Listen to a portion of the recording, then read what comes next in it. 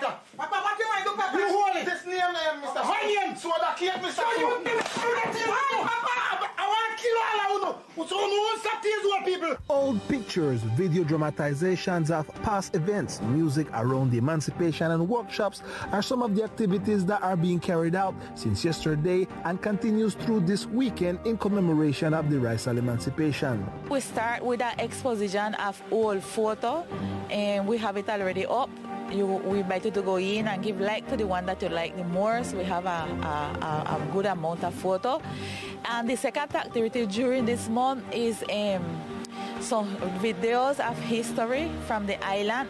So we have four um, community theater group that participate in this activity. The idea is to go to the foundation's Facebook page and give a like to the photos or videos that you most appreciate.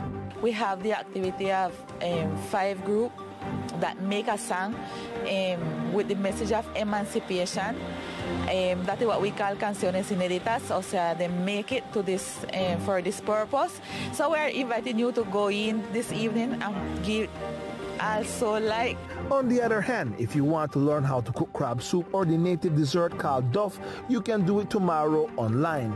We will have the crab soup and also the duff. The duff is like one ancestral um, dessert that almost is forgotten. If you ask the young generation what is a duff, nobody don't know what is a duff. So we invite you to Kanekosa and our Facebook channel, Island Roots and Heritage, so you can participate with us with all these activities. The Tales of Anansi Spider will also be part of the different exhibitions that will be held online until the end of August.